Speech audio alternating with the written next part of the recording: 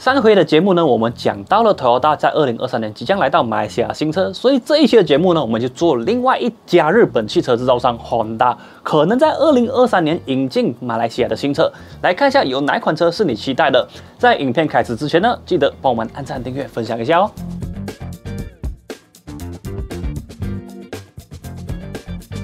第一款要讲到的车是 Honda BRV，我相信上一代的 Honda BRV 大家应该都有非常深刻的印象。因为在那个时候，马来西亚的七人座车款选择是非常少的，而这个 BRV 就因为大空间还有这个价格是比较负担得起，所以在马来西亚市场销售的非常好。而事实上呢，这款车在海外已经有了第二代的车型。我们来看一下第二代的车型有什么不一样。首先就是外观设计的部分，它变得更为的精致，而且导入了非常多时下流行的设计元素，包括了全 LED 的头灯组，还有 3D LED 的尾灯组。至于在车身尺码的部分呢，它跟上一代的车型差不多，但是因为换大空间最大化的设计风格呢，所以这款车的空间表现大家并不需要担心。而如果我们只是看这款车的外观设计的话，你会觉得它跟现在目前在贩售的这个 Honda CR-V 是非常类似的。我个人觉得这款车的外观设计部分呢，基本上是还不错的。你有什么看法？可以在影片的下面留言，让我们知道。OK，在内装的部分呢，这款车同样的跟 Honda CR-V 有着非常类似的设计风格。我们可以在这一次的内装设计上面看到的全新的触屏主机，而且支援 Android 都还有 Apple CarPlay。然后整体的风格，我只能讲实用了，我不知道大家觉得美不美？你也可以在影片的下面留言给我们知道。然后在安全性的部分呢，这款车配备了完整的 Honda 神性，包括了这个车道维持系统，还有主动式定速巡航。但是目前我们不确定这个主动式定速巡航带不带 Stop and Go。功能，但是无论如何，可以在这样子的车款上面看到主动式定速巡航呢，基本上已经是非常了不起了。在引擎的部分呢，它同样的是采用跟 Honda City 同款的1.5公升自然进气引擎，最大马力表现是一百一十九 HP，峰值扭力表现一百四十五牛顿米，匹配 CVT 变速箱。这样的引擎输出呢，在同类型的这个七人座车款呢。表现可以说是非常出色的。那么实际的驾驶感受呢，就要等到这款车来到马来西亚，我们才知道了。预计这款车会在二零二三年的上半年发布，不过目前没有太多相关的信息啦，我们还是等待 Honda 马来西亚的公布。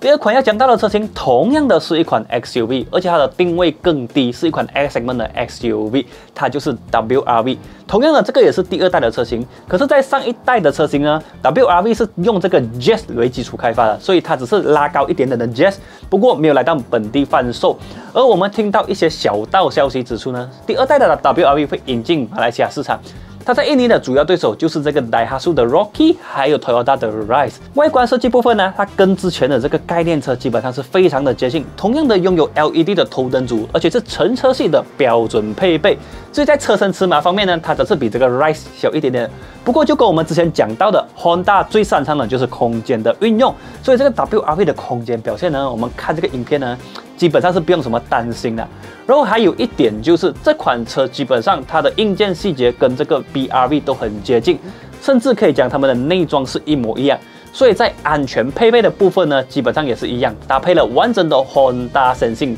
同样的也包含了 ACC 主动式定速巡航。引擎方面呢，也是同样的1.5公升自然进气引擎，119 HP，145 牛顿米，匹配 CVT 的变速箱。至于在价格部分呢，我们以印尼的价格作为参考。印尼的 WRV 呢，它的起步价是低于这个 City Hatchback 的。试想想看，如果这款车来到马来西亚市场的话，它的价钱会比这个 City Hatchback 低一点点，是不是很有竞争力呢？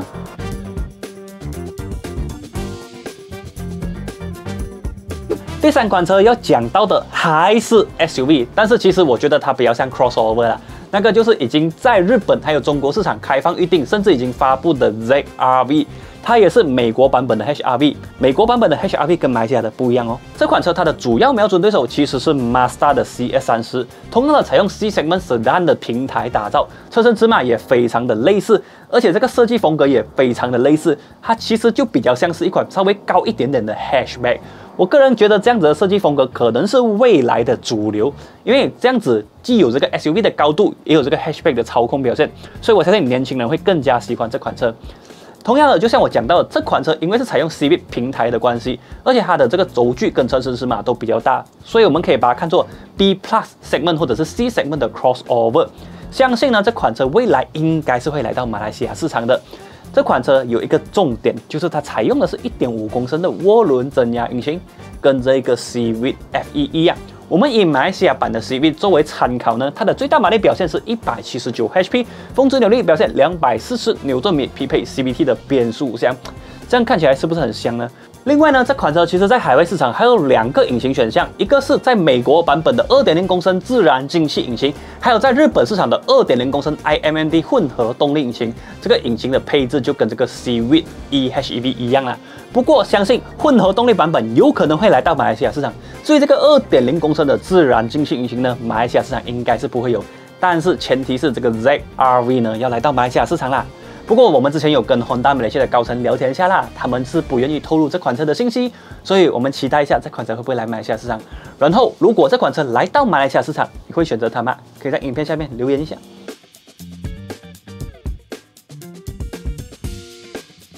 第四款车，它还是一辆 SUV，不过大家对这款车的兴趣应该比较高点，它就是全新的 Honda CR-V。这边呢，同样的，我们也收到了一点小道消息，也就是说，在明年的第二季度呢，Honda Malaysia 就会开始量产这一个全新一代的 Honda CR-V 这款车。在北美市场已经发布了，它的外观设计跟 Civic F1 非常的类似，舍弃了上一代的流线设计风格，这一代非常的方正。不过我必须讲老实话，这一代的 CR-V 真的高贵了很多，尤其是整个车头设计，我看起来非常的喜欢。至于在它的内装设计部分呢，则是延续了这个 Honda Civic F1 的设计风格。老实话，我有去看国外的这个 review 啦，就是这个试驾影片，内装的质感真的是提升了很多，而且这个空间表现，我只可以讲 Honda 的空间表现真的是无人可比，不管是乘坐空间也好，置物空间也好，那个表现真的是一级棒。然后在引擎的部分呢，就没有太大的惊喜啦，它还是采用我们熟悉的1.5公升 VTEC Turbo 引擎，马力表现也一样，最大马力表现是189 HP，峰值扭力表现253牛顿米。另外呢，它配备了另外一个动力配置，也就是二点零公升的 iMMD 混合动力引擎，而且据说马来西亚版本也会引进这个混合动力的引擎，所以我觉得还是非常值得期待的。但是有一点要告诉大家的是，全新一代的 CRV 在海外市场呢是起价的，因为他们必须让出一个空间让这个 ZRV 生存，所以我们就期待一下本地的 CRV 会不会涨价，然后会不会中间塞一个 ZRV 进来呢？其实我觉得，如果是这样子做的话，也是可以接受的，多一个选择也是好事来的。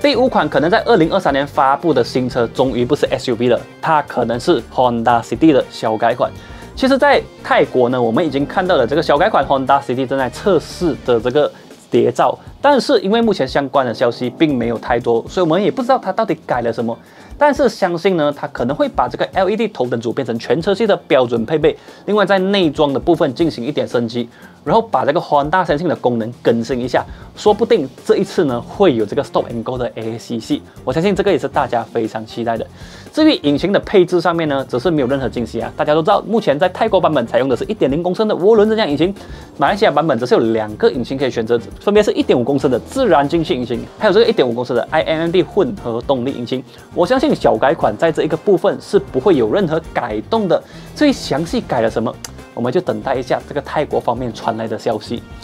最后，我相信还有一款车大家要问的就是这个 Honda Civic Type R，这个真的不敢说，因为目前真的是没有任何的消息。所以如果以后有消息的话，我们会单独做一期影片来告诉大家。好啦，以上就是我们这一期影片的全部内容，讲到了五款新车，你比较期待哪一款新车？可以在影片的下面留言给我们知道。OK，最后就是请大家帮我们按赞、订阅、分享一下。我们下一次的节目再见。拜拜。